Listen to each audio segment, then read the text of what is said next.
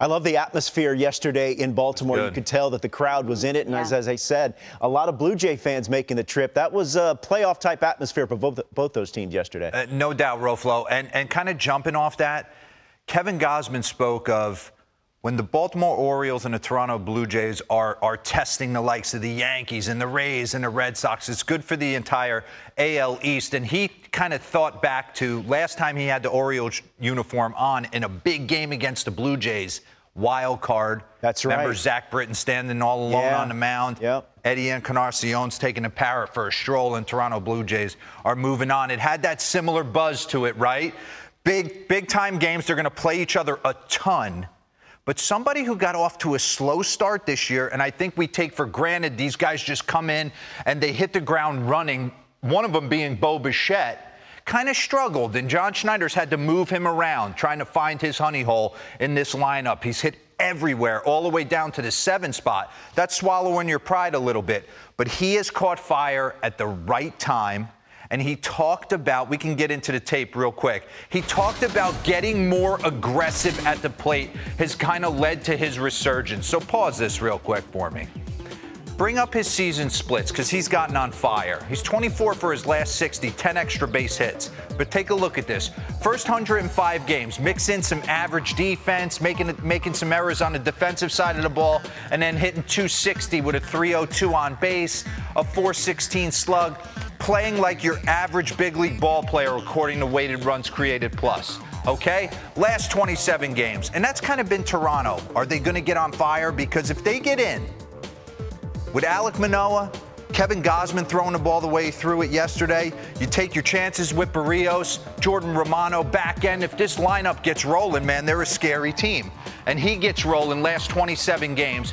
321 batting average, 370 on base. Look at the weighted runs created plus there. Park adjusted with the plus sign.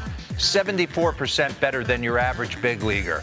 And he talked about maybe being a little too passive early, maybe getting inside himself and thinking a little bit too much. Well, he ambushed the heck out of the Baltimore Orioles yesterday. Let's get into these three home runs because he has a lot of moving parts. Run that back. 0 0 count. Baltimore takes a 1 0 lead in the top of the third right here. And watch this. This is a lot going on.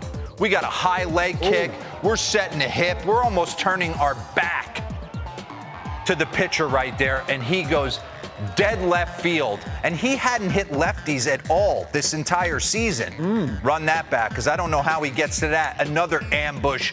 0 0, high heater, feeling good about himself oh. gets on top of it and drives it out to right center. So when you're syncing up all these moving parts and it's on time and your head's not moving, and that's the big thing for me. Check out his head right there. Run that back for me, that side angle. Let's get into this a second. There's a lot going on here.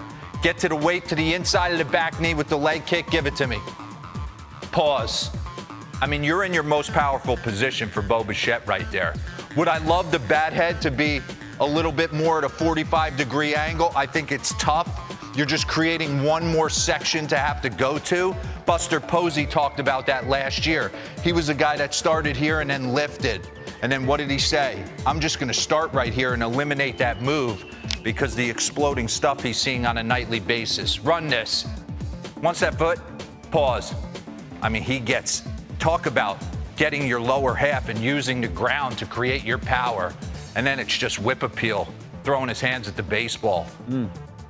Getting on top. But what I love about him, we're going to show his third homer right here as well. Oh.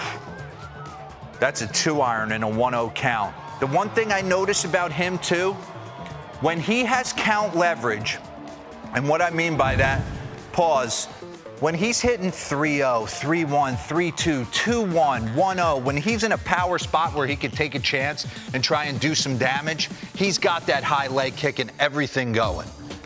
But what I love about him is, and the numbers don't support he's been that great with two strikes, watch what he does with two strikes. I love somebody run it who has a two strike approach.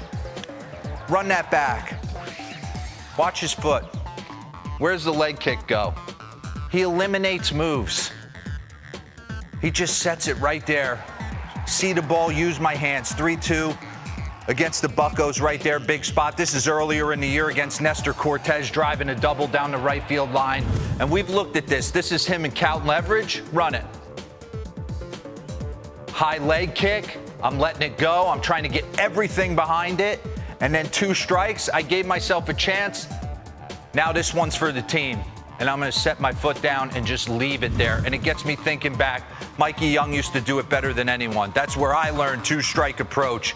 You took your chance with one and no strikes right there to do some damage, and then this one's for the team. And the other thing, the reason I compare him to David Wright, run that back for me real quick. You're seeing a lot of guys, and pause this. There's a lot of guys getting into their back hip.